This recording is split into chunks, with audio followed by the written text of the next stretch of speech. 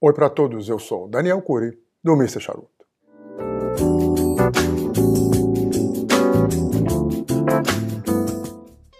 O vídeo de hoje não é um vídeo indicado para os cigar snobs. Tirando o ponto de lado a brincadeira e a provocação, que eu quero dizer que o charuto de hoje não é um charuto muito requintado, não é um charuto que atraia as pessoas que buscam sofisticação no ato de fumar, mas é um charuto que, por esse motivo, não deixa nada a desejar para nenhum outro a, a blend ou um outro charuto, tá? Eu estou falando aqui do... Opa, quase saiu sozinho aqui. Desse charuto da Drew Estate, é o Factory Smoke Sunground. Nesse caso, numa bitola touro. Ele tem 6 inches de comprimento com, de comprimento com um ring gauge de 52. O wrapper dele é um wrapper sunground, no caso um abano, e sunground quer dizer que ele foi, que esse fumo foi mantido exposto ao sol durante todo o tempo em que ele estava no campo. E curiosa, curiosamente, no, quando esse, esse blend foi lançado, eles não divulgavam a origem do fumo, o tipo do fumo, o abano. Eles apenas diziam que era um wrapper sunground. Agora, de uns tempos para cá, a gente sabe que é um wrapper abano. Binder e filler deste cigarro são da Indonésia. Ele é um charuto, como eu disse, fabricado pela Drew Estate na Nicarágua e ele foi lançado em 2018. Bom, vamos lá. Primeiro cheiro dele, né? Ele tem um cheiro bem suave de ah, folhas secas, né, de, de feno. Só, quase só isso. Mas com um pouco de pimenta, uma leve pimenta do reino. E talvez um pouco doce, mas é muito suave. Ele é um charuto ah, bem esponjoso, ele é bem maleável, ele responde, ele cede bem ao movimento dos dedos, à pressão dos dedos. E ele tem um rapper que não é um rapper muito, ah, muito elegante, é um rapper mais grosseiro, com algumas manchas, cores diferentes na folha, alguns pontos com defeitos, veios bem, bem aparentes, e com uma band que também não, não, é bem simples a band, não é uma band com grandes efeitos, mas ela, ela, vamos dizer que ela chama atenção mais pelo contraste das cores do que pelo design em si. É um charuto ah, com uma aparência bem pouco atraente, eu acho. Tá? Então vamos lá, vamos cortá-lo e ver o que, que ele tem. Uma outra coisa que eu notei aqui também agora é que a cabeça dele ela não é perfeitamente ovalada, com o cap também bem, ah, vamos chamar de mal aplicado, poderia, ser, ah, poderia ter sido aplicado com mais cuidado. Na hora de cortar, que eu reparei, talvez ele vai cortar até torto aqui em cima. Então eu vou tentar corrigir aqui. Vamos ver se vai ficar legal. Não vai ter nenhum problema de, de fluxo. Então vamos lá, vamos acendê-lo, né? Vamos lá. Ah, esse charuto, esse blend, né, na verdade já tem uns dois, três meses que muita gente sugeriu e algumas pessoas também perguntaram se eu conhecia, se eu gostava, qual que eu gostava mais, o que, que eu achava, porque ele vem em outras a variações de rapper, nós vamos falar sobre isso. E eu acabei confirmando com um amigo meu aí no Brasil, uma, a, a, passou pela minha cabeça que ele estaria disponível aí, e esse amigo me confirmou que sim, que está disponível, e é um charuto que a, o pessoal se interessou, alguma parcela, algum espectro do, do mundo dos fumantes se interessou por ele. Então achei legal fazer um vídeo, já que o pessoal estava tá tão, tão interessado. E eu escolhi o Sunground para ser o nosso blend nesse, nesse review de hoje.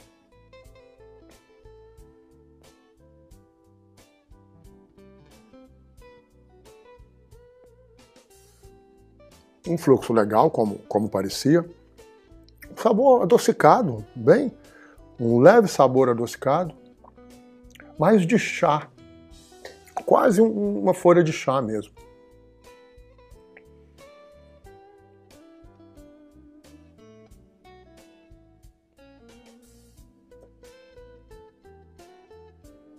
mas um, um fluxo muito aerado. Tá vindo, eu estou puxando mais ar do que fumaça de fato. É um, é um, é um draw que me desagrada, que vem no, que eu sinto normalmente nos ring de 54, 56. Esse é 52, mas seguramente por causa da construção, do, da, da, natureza do, do charuto, que nós vamos falar também daqui a pouco. Mexendo aqui, fazendo uma massagem nele, vamos ver se esse fluxo melhora. O sabor é aquele chá, um pouquinho adocicado e nada muito ah, evidente até agora.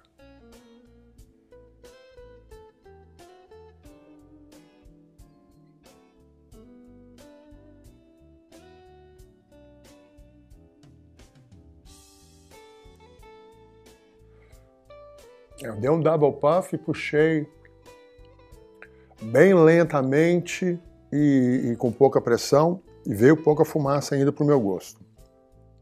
Mas deu um pouco mais de sabor. Um sabor de madeira junto com chá, um sabor. Já passou. É bem fugidio, ele é bem. passa rápido, ele não fica no, no, no palato, não. Vamos tentar um, um, um esqueci completamente. Pelo nariz, esqueci o nome, retrohale. Vamos ver se consigo algum sabor, alguma intensidade maior.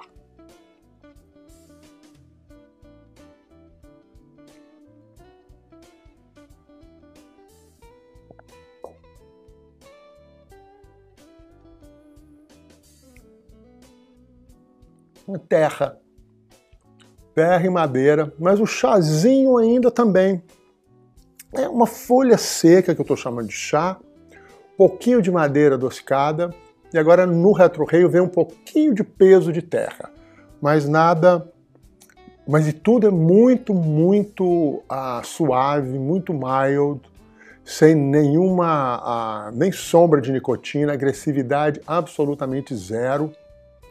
E é quase que uma, uma fumaça sem sabor, é quase que só uma fumaça eu chamaria de um pouquinho adocicada. Esses sabores de terra, de madeira que eu falei, de chá, ficam muito, muito, muito no fundo. Eles não são proeminentes. Agora o que está me incomodando é essa queima, que está pouco, a fumaça na verdade, o draw, né? Talvez seja até um pouco aqui, porque a queima está irregular já. Eu vou dar só esse retoque e eu volto já já para falar um pouco mais sobre esse banho.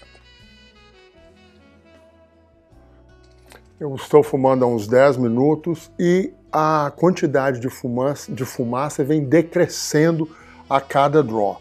A queima não está legal, vocês podem ver aí na, na, na foto.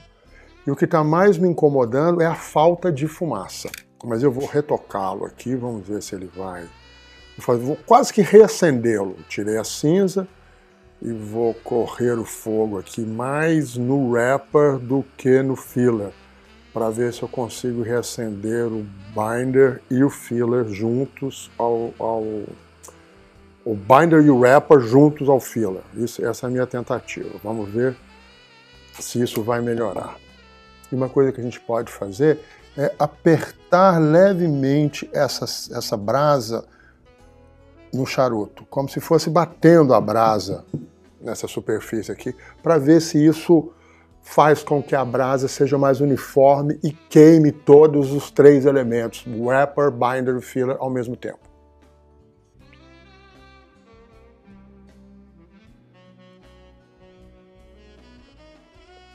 Bom, parece que não deu certo. Mas vamos lá. Ah, esse, esse charuto, esse problema que eu estou tendo aqui, certamente é devido à construção, o tipo de construção dele, que é o que a gente chama aqui de Cuban Sandwich, o sanduíche cubano que é um charuto que leva no seu filler folhas inteiras e folhas, pedaços de folhas, meia folhas, aparas de, de fumo. E no, no, Brasil eu sei que ele é mais conhecido como mixed filler, é um termo usado aqui também, mas o Cuban Sandwich é mais ah, ah, popular, vamos chamar assim. E essa combinação de folhas torna o charuto um charuto menos nobre, um charuto a, a, qualificado como um charuto inferior. Mas ele tem, por outro lado, um grande atrativo, que é o preço. Ele é um charuto de preço mais barato, ele é um charuto de preço baixo. E a qualidade acompanha, né? essas coisas sempre andam lado, lado a lado. A qualidade também é mais baixa. Mas não é por isso que ele deva ser ignorado ou ah, ah, eu não fumo isso. Tudo bem, você tem a opção de não fumá-lo, mas ele é um charuto que tem espaço no mercado, é um charuto que atende a muita gente por diversas razões. Então é um charuto que a gente não pode simplesmente ignorar e, como eu disse no início brincando, não é indicado para as pessoas que usam o ato de fumar, o hábito de fumar, como uma vitrine do seu high profile, buscando ser super high profile e tudo mais. Seguramente não casa com esse tipo de, de uh, uso do, do, a, do ato de fumar. Né? Um público diferente, que busca outras coisas com charuto. Né?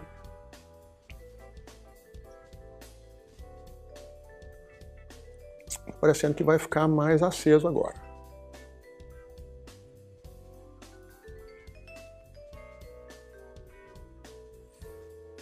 Eu procuro entender esse tipo de, de, de charuto pelo através do valor que o charuto tem.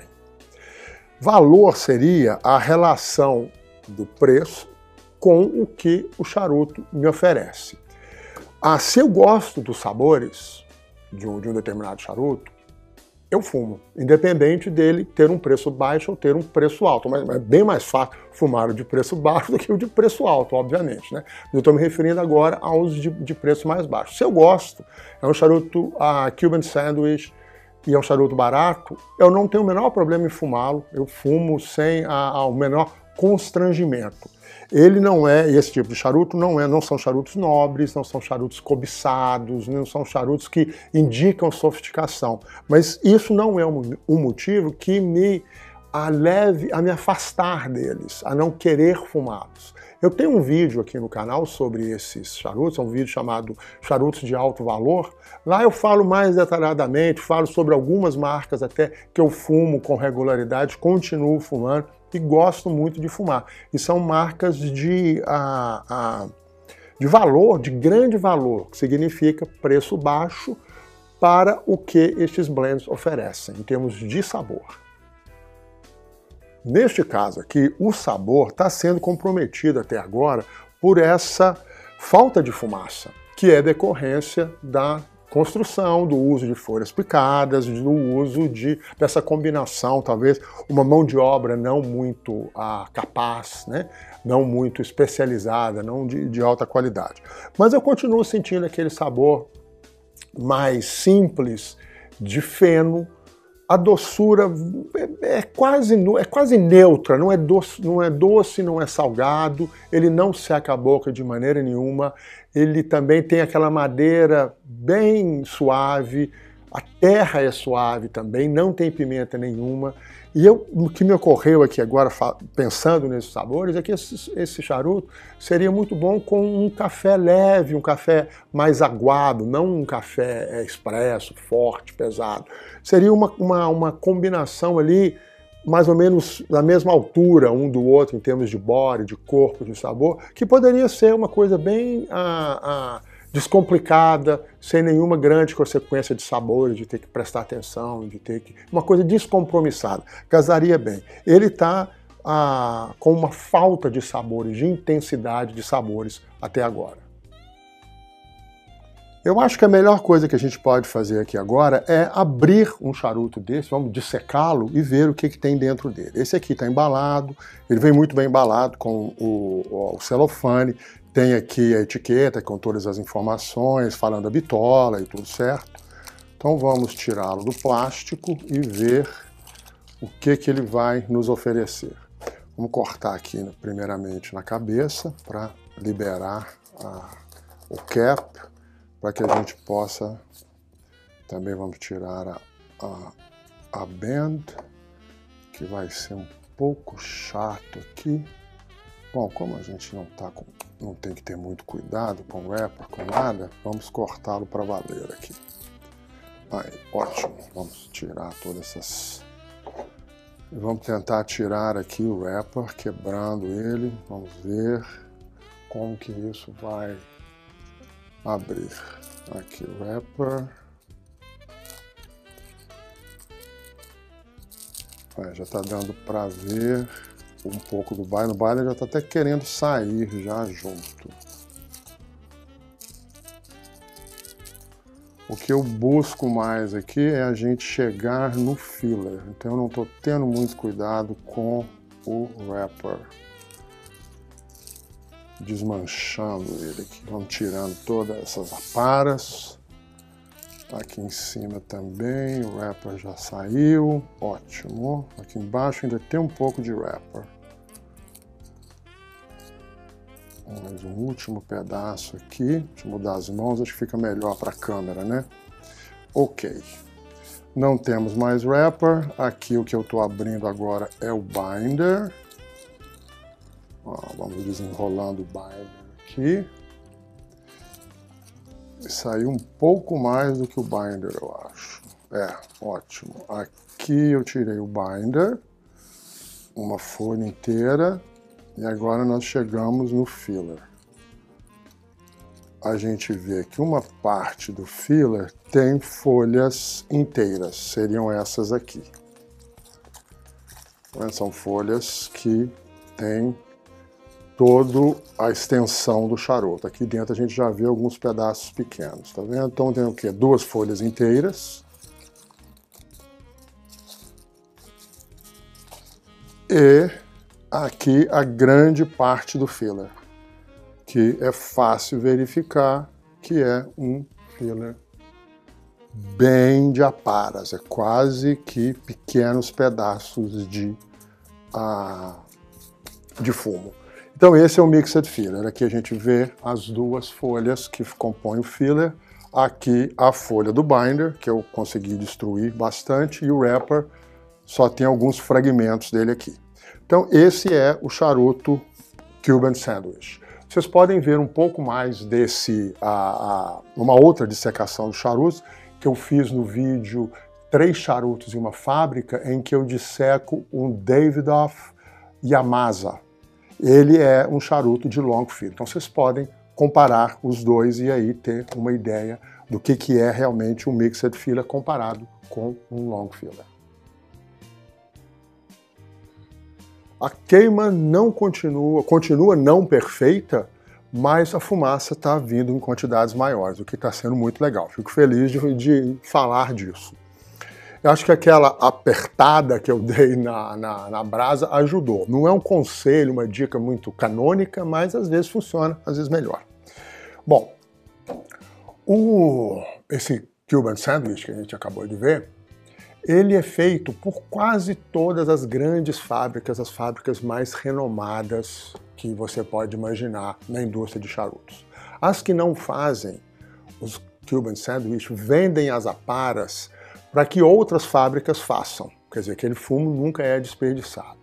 A Drew Estate, desde o seu início, sempre foi avessa a fabricar esses seconds, esses charutos, com mixed filler, né, Cuban sandwich, ou então charutos com defeitos, que a, a, tonalidade do wrapper não, não atendeu o controle de qualidade, ou tem algum problema de fluxo que foi identificado na fabricação. Esses charutos são conhecidos como seconds, quer dizer, segundos, né, de qualidade inferior, não são de primeira linha, como se diz no Brasil. E a Drew Estate, sempre avessa a esses charutos, em 2018 mudou drasticamente o seu, sua fala, seu discurso. Né? Ela, quando lançou o Factory Smoke, disse né, no, no, no lançamento, no material de lançamento, dizia que um grande tempo foi despendido na preparação do projeto do Factory Smoke até que a empresa conseguisse produzir com eficiência um charuto que chegasse ao mercado com um preço atraente e que o produto deles iria transformar o mercado de charutos de, de Cuban Sandwich. Quer dizer, em bom português, em bom inglês também, eles simplesmente mudaram de ideia e resolveram afirmar para o público que agora a gente vai vender charutos baratos. O que não tem nada de errado, mas é só aí a história mesmo para a gente entender como que essa questão financeira, né, de aproveitamento, a questão de, de custos e lucros da empresa acabam é, determinando os perfis dos blends que a gente vai fumar, como que o mercado funciona. Esse Factory Smoke ele vem em três versões de wrapper, né? ele vem com três diferentes wrappers. Vem o Sunground, tem o Conerica Shade e também tem o Maduro. E além disso, tem o segundo Sunground que tem é adocicado, ele é sweet. Eu não sei o que, que é, mas eu imagino que seja um desastre. Na minha opinião, não fumei e não gostei. Mas provavelmente não vou fazer review dessa versão adocicada, não. Uma coisa que eu quero sugerir para vocês é o seguinte: não usem essa, esse blend, o Factory Smoke, para fazer aquele teste que muita gente gosta de fazer ou pretende fazer, que é descobrir qual que é a importância do wrapper no perfil final de sabor de um charuto. No caso de todos os três wrappers que eu falei do Factory Smoke, o filler é o mesmo, é o da Indonésia, o Indonesian a, a, a Tobacco. Só que nesse wrapper, nesse, né, nesse blend, existe o risco deles não seguirem muito rigidamente a receita do filler. Isso quer dizer que de uma, de uma leva para outra, de uma produção para outra, o filler pode variar, por ser um filler composto, uma grande parte, por aparas, de, por folhas pequenas. É completamente diferente de um outro cigarro da própria Drew Estate, o Papas Fritas, que é um Cuban Sandwich também, só que ele leva exclusivamente as aparas do a liga privada, tem gente que fala que o Factory Smoke também leva, mas eu não acredito que leve, porque as aparas do papas fritas, do papas que são usadas no papas fritas, sendo as do liga privada, são aparas que não são da Indonésia, são aparas de outra origem. O liga privada, o wrapper dele é Connecticut Broadleaf, o binder é brasileiro. E se não me falha a memória, o filler ele é composto de fumos da Nicarágua e, da Hondu e de Honduras. Lembrando que o Liga Privada é um blend do Steve Saka. Por, por essa razão, o rapper ser um Connecticut Broadleaf, que é o fumo que ele tanto adora, que eu falei no vídeo passado.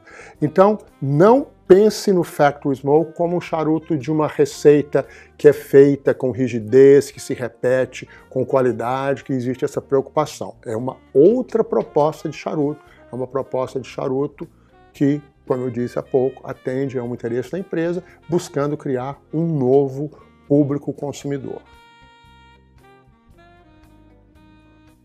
Eu diria que o, a produção de fumaça está uma produção de fumaça normal, legal, agradável. Só que os sabores estão mudando um pouco. Ele está, ah, não é nem os sabores estão mudando, é o, a, a, a sensação que o charuto causa no meu paladar está mudando um pouco. No início eu disse que os sabores eram bem baixos, né, bem ah, ah, até desinteressantes, mas existia aquela presença de madeira, uma, uma, suavidade, o feno, uma doçura leve e tudo. Agora ele perdeu a suavidade. Os sabores continuam quase ah, ah escondidos, mas ele está ficando um pouco agressivo. Não é pimenta, não é ardência, não é terra em excesso ou ah, uma secura. É simplesmente, eu sinto como se fosse um sabor adstringente, que é aquela sensação que para mim é bem desagradável quando você come, por exemplo, uma banana verde. Eu sinto aquilo na minha, ah, no meu paladar não é muito agradável, não é tão intenso como o da fruta, mas é um pano de fundo que fica o tempo inteiro, escondendo bem a, os suaves sabores que ele estava apresentando. A produção de fumaça aumentou e esse sabor apareceu. Eu não, eu não sei dizer se é uma consequência, já, eu já sentiria isso no início se eu tivesse fumando, tivesse tendo um, um fluxo mais ah, generoso, ou se é agora pela, já estou na metade do charuto, algum acúmulo de algum resíduo do fumo, da umidade, dos óleos que não queimaram, o que quer que seja. Ou até da ausência dos óleos. Né? Agora eu estou queimando só uma folha seca que não tem muito, ah, muito óleo para dar sabor.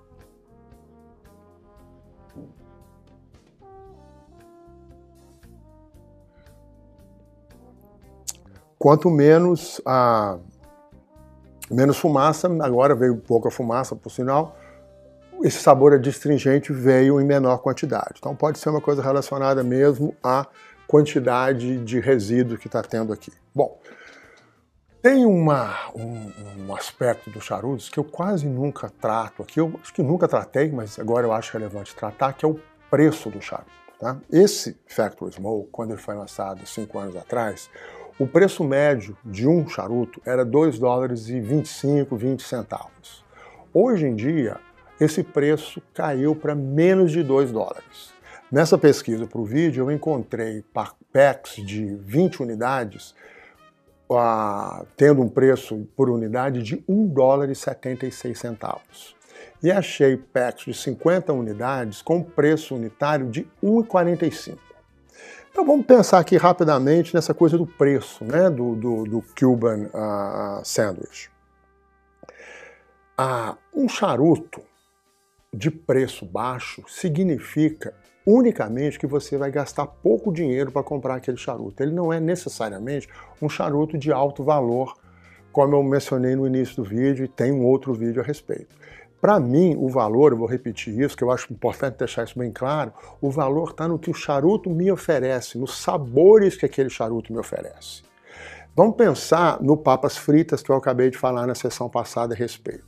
Ele usa ah, uma, um, uma, as aparas de um determinado blend, que é o liga privada. Além disso, as aparas são resselecionadas, porque no Papa Fritas não entra todas as aparas e nem qualquer a, a para usada no liga privada. É selecionada ali quantidade dos fumos, diferentes quantidades dos diferentes fumos utilizados no liga privada, para que o papas fritas tenha uma receita rígida, constante, que se mantém de tiragem para tiragem. Isso, evidentemente, torna o charuto um, a, a mais caro, um produto final mais caro, porque a operação de fabricação demanda uma mão de obra maior, demanda mais tempo. Então ele deixa de ser um charuto de preço baixo, mas ele vai oferecer para gente muito mais. Se você gosta dos, dos sabores que o Papas Fritas oferece, você vai encontrar valor. Agora, se você não gosta, ele talvez não vai ter valor para você. Agora, em termos de preço, ele não é um charuto barato, apesar de ser um charuto Cuban Sandwich. Esse aqui é um charuto barato, Cuban Sandwich, mas tem sabores que provavelmente não vai agradar todo mundo. Tem uma performance que talvez não seja constante, tem uma performance que vai falhar e que vai alterar o sabor do charuto. Então, a gente tem que pensar nessa no valor, no que que o charuto oferece. Um charuto barato, às vezes, continua não compensando, mesmo sendo um charuto barato. Eu estou entrando no terceiro terço, um daqueles defeitos, né, aqueles pontos que o rapper não era ah, completamente liso, tinha uma mancha, tinha alguma coisa, abriu, mas aqui eu só umedeci, está funcionando legal, não tem nenhum problema. Eu quero tirar a benda aqui para a gente ver, me parece que ela está muito bem colocada, não está grudando no wrapper. Vamos soltá-la aqui na emenda. Ótimo, soltou sem nenhum problema. É uma é uma benda de qualidade, o papel é bem legal, é um papel mais encerado do que os outros, papel espesso, não é muito fino, e tem uma, uma certa. A, a, um design, não é uma foto, ela, como eu repito, ela atrai mais pelas cores do que pelo design, mas é uma banda legal, sem problema nenhum, e principalmente não está grudada no EPA, isso aqui é fundamental, né?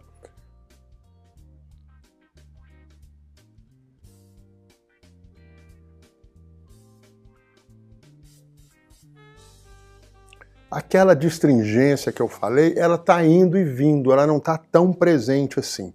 E agora, nos últimos draws, nesse eu fiz o retro reio, eu estou sentindo uma pimenta na língua, que trouxe até uma dimensão maior na, na, na, nos sabores. Ficou até mais interessante um pouco, ganhou uma outra camada, né? Dessas, de uma certa aspereza que ele não tinha antes. Mas o que. Ah, essa, Vamos colocar um pouquinho mais de bore da pimenta e tudo, mas ele está um pouco mais terroso também. Ele está ficando um pouco mais pesado. Está ganhando um pouco de bore, mas mais pelo lado da terra. Aquelas nuances de sabor que eu tinha dito anteriormente desapareceram completamente.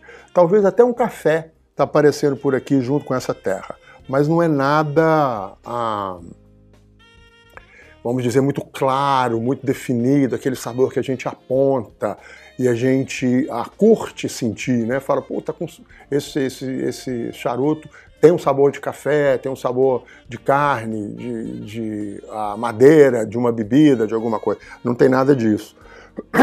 Desculpa. É só um peso que está vindo, talvez do café e da terra, ou uma coisa só que eu estou confundindo aí entre duas, tentando dividir e não tem muita razão para fazer isso.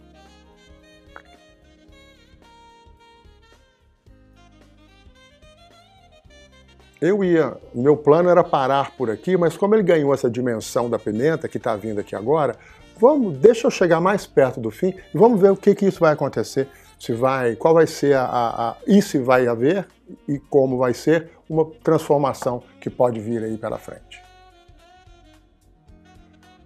Bom, eu fico assim, até meio constrangido, mas realmente não é um charuto que me agradou.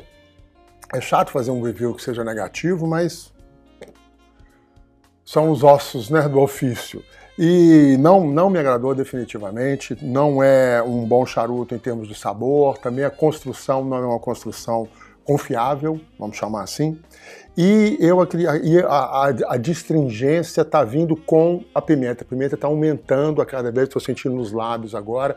Então, é uma combinação que eu achei que ia trazer uma camada de sabor, dar um pouco de riqueza, mas acabou tornando o charuto talvez ainda menos agradável do que ele já estava se mostrando desde, desde o início. Sem dúvida nenhuma, não é o pior Cuban Sandwich que eu já fumei. Tem de uma marca muito conhecida que tem um, Cuban Sandwich que é horroroso, simplesmente. E esse aqui não chega a. Vamos dizer assim, ele está bem na base da pirâmide de qualidade, mas ele tem. Eu já, eu já tive a, a infeliz oportunidade de fumar um outro charuto de uma fábrica renomada que não é um bom charuto de maneira nenhuma. É até de qualidade mais baixa do que esse aqui. Então acho que o segredo para a gente fumar esse tipo de charuto é manter as expectativas no lugar certo. Por ele ter um preço baixíssimo, eu sei que aí no Brasil também ele tem um preço excelente, e então, se você pensar por esse lado, né, se você mantiver e for mais frio, mais calculista na sua análise, você pode encontrar valor nesse charuto, sim, mantendo a sua expectativa no lugar certo e não imaginando que só porque ele é um charuto de bom preço, de preço baixo, ele vai te oferecer coisas legais. Ele, na minha opinião, ele ofereceu coisas que eu não achei legal. E provavelmente, se eu fumasse um outro aqui agora, eu teria uma experiência um pouco diferente, por causa dessa inconstância na fabricação, nos fumos utilizados e numa receita que é uma receita variável, vamos chamar assim, né? de acordo com a disponibilidade das aparas naquele dia que eles vão produzir. Eu não sei qual que é o rigor que é empregado na a, a construção do filler desse Factory Smoke da, da, da Drew Estate. Eu já fumei também há mais tempo atrás, tanto o Connecticut como o Maduro, e eu me lembro de ter encontrado no Connecticut uma. Desculpa, ter encontrado no Connecticut uma fumada mais prazerosa, uma fumada mais agradável. E ele talvez ele, ele sirva para iniciantes, talvez, para quem está começando agora, bem no início, ainda não detecta os sabores muito bem, não está muito acostumado, não tem parâmetros né, para comparar com outros cigarros, mas também para uma fumada descompromissada, num churrasco, numa festa, com mais gente, que a última coisa que você está preocupado é com os sabores que o charuto oferece. Você está mais preocupado com o ato de fumar, com aquela ação de estar segurando e ah, puxando um, um cigarro e curtindo aqui. Ele serve para isso também, tá ok? Então, gente, muito obrigado. Espero que tenham gostado do vídeo, pelo menos o conteúdo tenha sido legal, já que o charuto não foi tão legal assim. E espero também que vocês fumem bem e que a gente se encontre no próximo vídeo. Tchau!